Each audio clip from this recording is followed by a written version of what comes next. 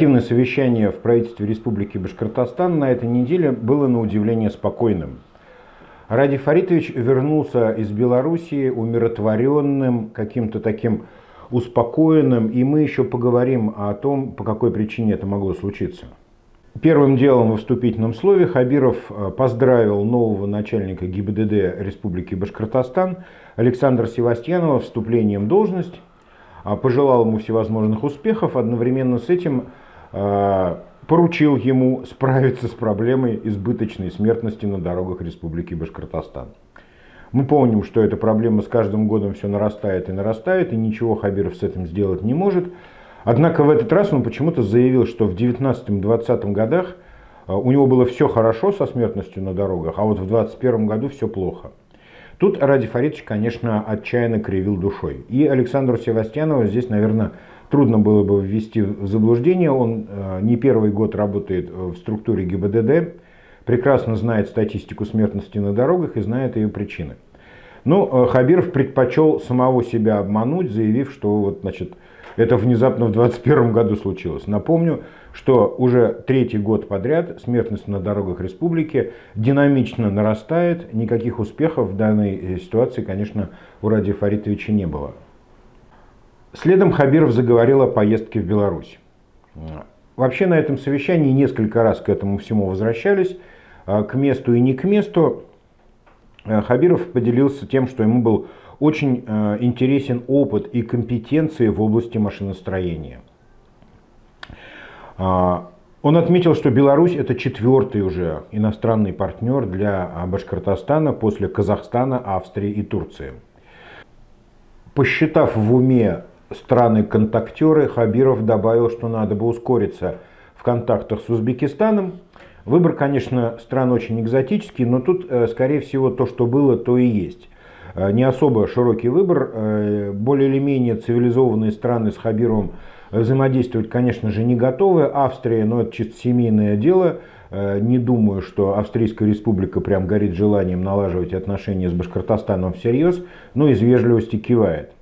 Хабиров поделился собственным впечатлением о Беларуси, рассказал, что ему очень понравилась почему-то библиотека в Минске, хотя она совсем не новая, но очень даже ничего. А, Хабиров рассказал о том, э, что он катался на Белазе и, к удивлению своему, обнаружил, что Белаз едет на электрической тяге. А, звучало это так, как будто бы Хабиров э, прокатился на электрокаре. Э, звучало это так, как будто бы белорусские белазоделы научились делать электрогрузовики. На самом деле это совсем не так. Ради Фаридович, я должен вас разочаровать. Дело в том, что БелАЗ испокон веку, всегда и 40 лет назад, и 20, и 10, и теперь э, перемещался на электрической тяге. Но электричество внутри БелАЗа, Ради Фаридович, вырабатывает огромная дизельная энергетическая установка. Просто там электрический привод на колесах.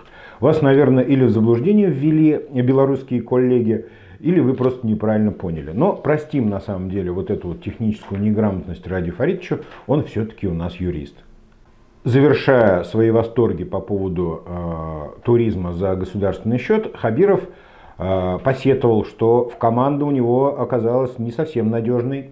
Э, в Беларуси было холодно, и многих морозом побило. В частности, Шельдяев слег после визита в Белоруссию. Хабиров э, это все прокомментировал так. Слабаками оказались. В общем, не морозоустойчивые министры у него, ну или теплее одеваться надо, или, как мама говорила, шапку одевать. Завершая вступление к оперативному совещанию, Хабиров все-таки обмолвился о э, строительстве новых госпиталей, э, ковидных госпиталей в Туймазах и в Сибае. Он сказал, что 11 декабря, собственно, как и планировалось, э, начато строительство этих госпиталей.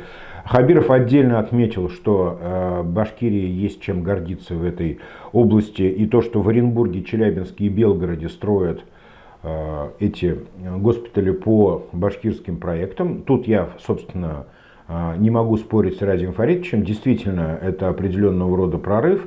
Эти госпитали были хорошо восприняты медицинским сообществом. Судя по всему, этот опыт полезен и назидателен для других территорий, ну, коль скоро их хоть кто-то воспринял. Так что, ну, построят и построят. Вопрос, конечно, в том, нужны ли будут эти госпитали к тому моменту, когда они будут построены. А тут, наверное, было бы глупо а, выражать надежду на то, что они понадобятся. Пускай лучше они не понадобятся, пускай эта пандемия уже закончится. Но, в общем, а, факт остается фактом, а строительство начато.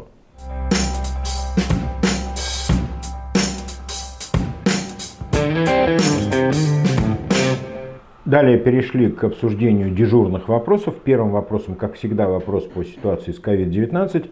Забелин рассказал нам о том, что в республике в последнюю неделю наблюдается 12% а, падение заболеваемости. Это очень важная цифра, и 12% это много. 529 а, человек заболело э, ковидом за предыдущие сутки. В общем, а, количество заболевших по республике составило 114 тысяч человек. Развернуто коек на данный момент у Забелина 2250. Количество коек медленно, но снижается. При этом 26% этих коек свободны. То, что касается вакцинации, вот здесь мы, конечно, подошли к какой-то, я бы сказал, важной черте. 83% подлежащих вакцинации в Республике Башкортостан вакцинированы. 2 миллиона 85 э, тысяч человек получили первый компонент прививки. И 75% э, подлежащих вакцинации вакцинированы уже обоими компонентами 1 миллион 883 тысячи человек. В целом это составляет 60% взрослого населения республики. То есть, если э, те расчеты, которые приводились ранее, верны, то 60% э, уровень вакцинации – это уже практически гарантированная, гарантированный коллективный иммунитет. Э, речь шла о 50 плюс процентов, мы уже достигли 60, ну, по крайней мере, в отчетах э, наших чиновников. Соответственно, ну, тут однозначно логически должен последовать спад заболеваемости. Посмотрим, как это все будет в реальности, посмотрим, насколько им удастся выдержать вот эту логику. А, помним, что эта логика не всегда сопровождала процессы, связанные с э, этим ковидом-19.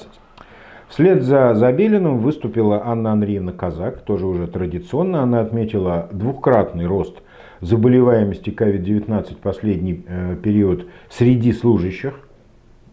Причину этой аномалии Анна Андреевна объяснять не стала, а также отметила, что э, в 18 школах э, в республике э, введены карантинные меры. Однако надо отметить, что этот карантин в школах вводится не только по ковиду, но и по гриппу и РВИ. Выслушав обоих докладчиков, Хабиров дал ценные указания. Как это обычно бывает в ситуации, когда человек лезет не в свое дело, эти ценные указания имели противоречивый характер. С одной стороны, Хабиров повелел начать сокращать а, количество ковидных коек, чтобы не тратить лишние деньги. С другой стороны, а, тут же повелел быть готовыми к всплеску заболеваемости после новогодних каникул. Ну, то есть разряжайте ружья, но будьте готовы стрелять. Примерно так звучали рекомендации главы Республики Башкортостан.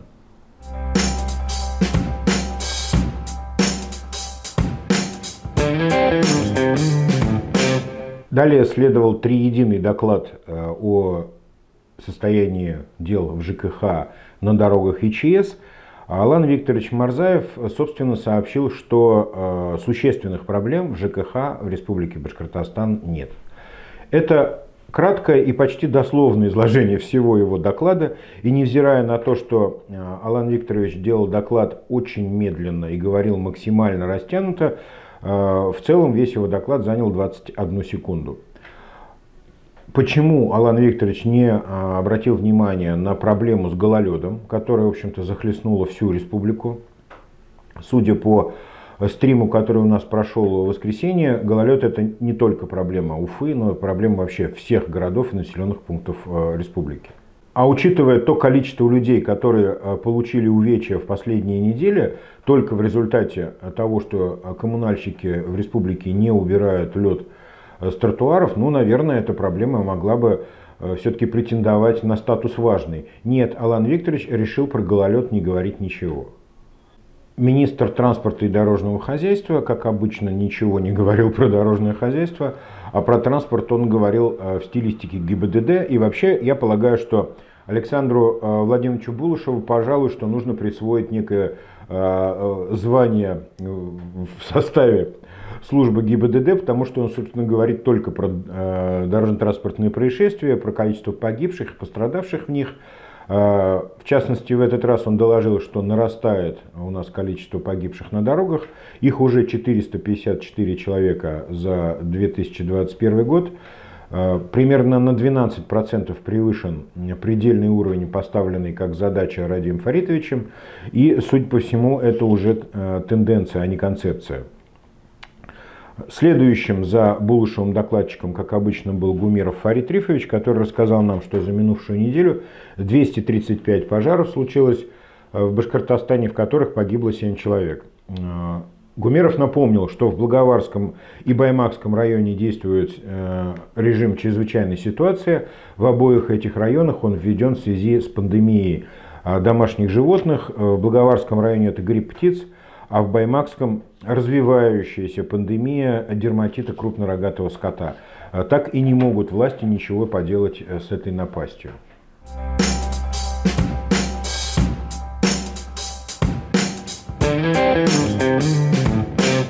Третьим докладчиком оперативного совещания был Азат Шамилевич а, Барданов, э, вице-премьер, а, юный вице-премьер, ему недавно буквально исполнилось 35 лет, а, тот самый скандальный чиновник, действия которого из раза в раз вызывают возмущение и всевозможные волнения в республике.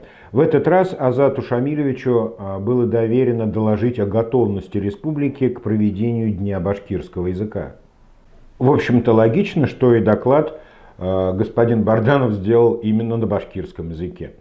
А, стоит предположить, конечно, о том, что э, Азат Шамилевич э, не владеет в иными языками. Я не берусь утверждать, но по-башкирски ему говорить получается очень складно и ловко. Единственное, что титры, которые бежали по экрану во время его доклада, конечно, неслись с такой скоростью, что не все было возможно разобрать. Однако я постарался, э, перематывал, вникал э, в бормотание Азата Шамилевича, и э, вот что мне стало понятно. Собственно, вот этот день башкирского языка продлится целую неделю в Башкирии в ближайшее время, и, собственно, все, что будет происходить, будет связано с популяризацией нравственных ценностей, воспеваемых Муфтахидином Акмулой, которому аккурат в этот момент исполняется 190 лет. Ну, это известный деятель культуры Башкортостана. Для тех, кто не знает, и, в общем, вот его нравственные ценности, собственно, и будет воспевать э, Азат Шамилевич, пропагандируя башкирский язык. А, Азат Шамилевич перечислил любезно нам эти ценности. Это вера, душа, ум, мудрость, а, благодарность, порядочность, терпение и искренность. Вот э, такие примерно ценности пропагандировал в свое время, 190 лет назад, и чуть позже э, Мифтахидин Акмулла.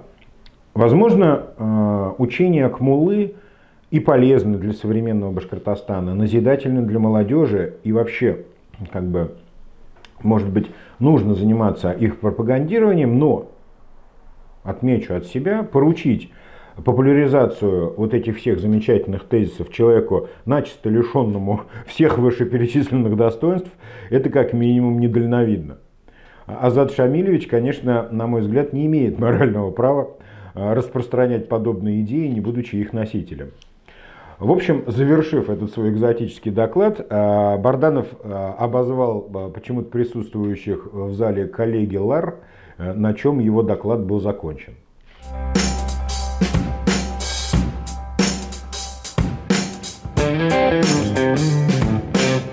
Четвертым докладом оперативного совещания был доклад Маргариты Дмитриевны Болчевой, министр внешнеэкономических связей, собственно, об итогах поездки в Беларусь. Как обычно, доклад Маргариты Дмитриевны э, изобиловал данными и фактами. В частности, она сообщила, что поездка состоялась с 6 по 8 декабря. что присутствовало 53 представителя предприятий Республики Башкортостан, и что эта делегация была по численности своей самой большой а, зарубежной делегации в истории Республики Башкортостан. Я уж не знаю, стоит ли э, этим гордиться, особенно на фоне тех расходов, которые повлекла за собой эта поездка, но вот факт остается фактом.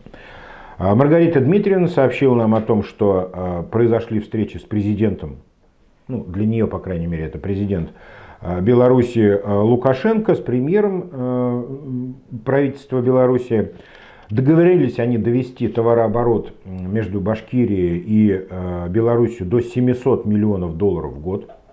Ну, сумма, конечно, ошеломляет, но, э, собственно, голова остывает в тот момент, когда узнаешь, что этот объем товарооборота это всего лишь уровень 2011 года.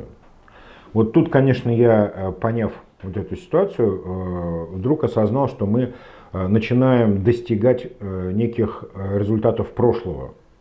То есть если бы мы ну, удвоили, вот, например, товарооборот десятилетней давности, тогда бы да. А мы всего лишь к нему пытаемся вернуться. И, судя по всему, сейчас он далеко не 700 миллионов долларов. Далее Маргарита Дмитриевна сообщила нам о том, что она с удовольствием открыла представительство Конгресс-бюро Республики Башкортостан в Республике Беларусь. А, примечательно, что если а, об этих двух территориях говорить э, в формате аббревиатур, то получается РБ и РБ. То есть получается, что это Конгресс-бюро, РБ в РБ. Очень так по-родственному получается. Также было подписано 13 соглашений и 3 протокола о намерениях с ведомствами РБ и РБ. Продолжаются переговоры о прямом авиасообщении Уфа-Минск. Но здесь, конечно, я бы посоветовал Маргарите Дмитриевне не особенно гордиться а, вот этим аспектом, потому что а, авиасообщение Уфа-Минск это, в общем-то, ну, билет в один конец. Из Минска теперь никуда невозможно улететь. Э, полная международная блокада авиасообщения с Беларусью уже вступила в силу. Э, ну, да, там можно выскользнуть куда-нибудь в Дамаск, в Алеппо или, не дай бог, э, в Кабул – но э, полагаю, что желающих в этом направлении перемещаться из Минска найдется немного. Примечательно, как Маргарита Дмитриевна формулировала вообще процессы, которые случились с ними в Беларуси. В частности, она сообщила, что обсуждались перспективы сборки троллейбусов МАЗ в Уфе, производства беспилотников и их компонентов, колесных и гусеничных тракторов и много чего еще, но только именно обсуждалось. Мы же понимаем, что а, разговоры на уровне обсуждалось с нестабильным правительством и а, нелегитимным диктатором, это, в общем-то, не очень а, такая ясная перспектива дальнейшего развития. Особенно смешно на этом фоне смотрелись заявления Маргариты Дмитриевны о том, что они рассматривают перспективы инвестирования белорусских сельхозпредприятий в экономику Башкортостана. Помилуйте, Маргарита Дмитриевна, Батьке Лукашенко скоро самому там жрать нечего будет, кроме бульбы э, мерзлой в этой Белоруссии. А вы рассуждаете о том, как он и его предприятия рассматривают возможность инвестировать в нашу экономику. Да ну, не боже мой, конечно же. В общем, закончила Маргарита Дмитриевна свое восторженное описание поездки в Беларусь тем, что подписано 10 контрактов аж на 110 миллионов рублей. Ну, кстати говоря, это примерно полтора миллиона долларов. То есть э, Маргарите Дмитриевне осталось подписать еще контрактов на 698,5 миллионов долларов, ну и, как говорится, план будет выполнен. К докладу Маргариты Дмитриевны э, Булычевой Хабиров отнесся традиционно скептически. Он строго подытожил ее выступление так. «Я с вас через год очень строго спрошу, что с Казахстаном, что с Белоруссией. Мы ищем новые рынки. По сути, это маркетинг. И где-то может быть неудача. Но везде неудачниками мы быть не должны, концептуально подытожил доклад Болучевой э, Хабиров. Вообще эту фразу действительно нужно отливать э, в граните, можно золотом выбить на уровне глаз в кабинете. Везде неудачниками мы быть не можем. Ради Фаридович, сделайте себе такую татуху вообще, Потому что пока у вас все ровно наоборот. С другой стороны, а, то, что Хабиров начал критически относиться к себе и к своей команде, это уже а, отрадно и, э, может быть, даже э, внушает какие-то надежды.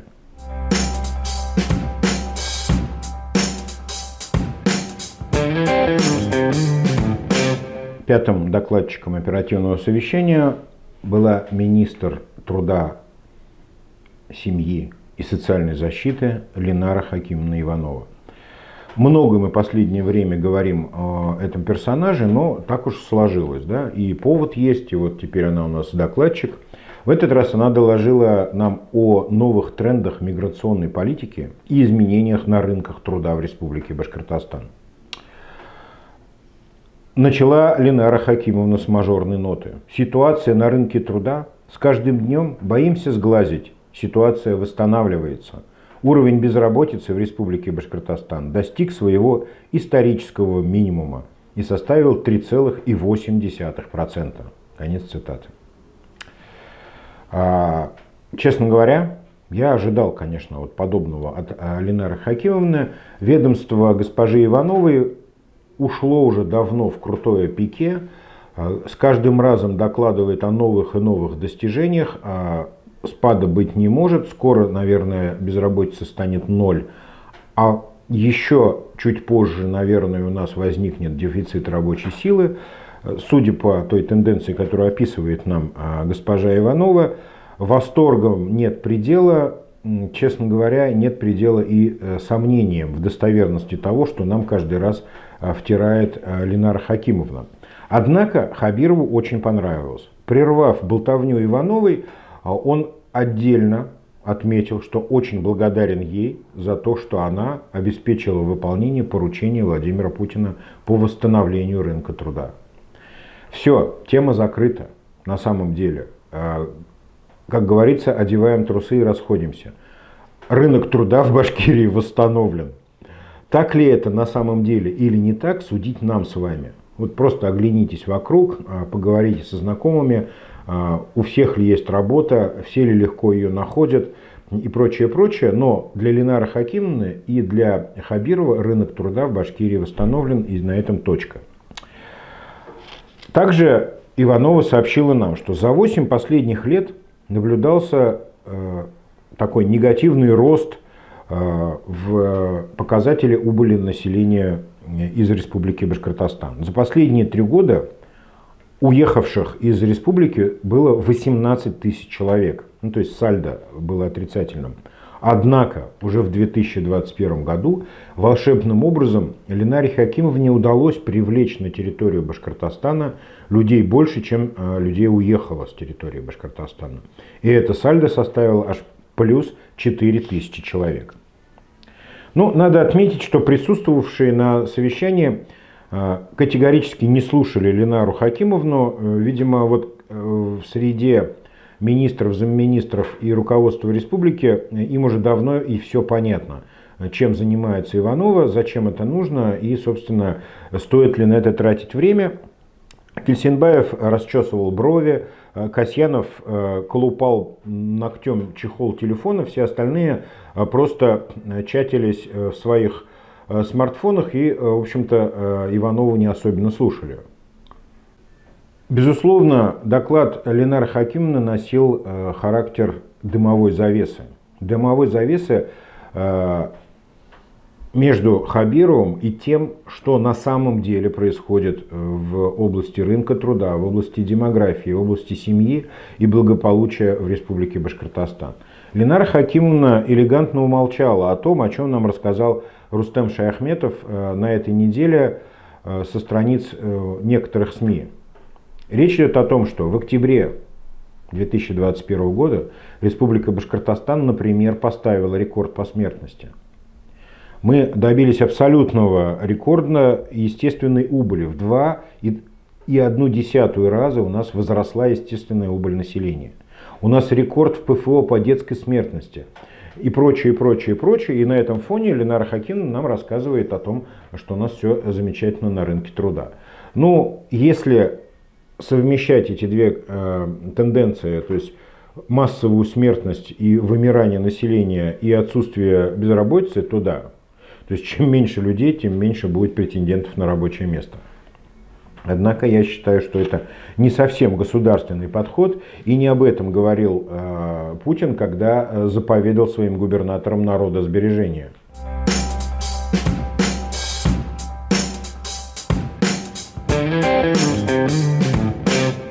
Завершил оперативное совещание доклад единственный доклад, который мне понравился, и сделал его министр э, торговли и услуг Республики Башкортостан Гусев Алексей Николаевич. Вот честное слово, доклад мне понравился. Это был единственный доклад, в котором не было воды, в котором были факты, которые вполне себе проверялись.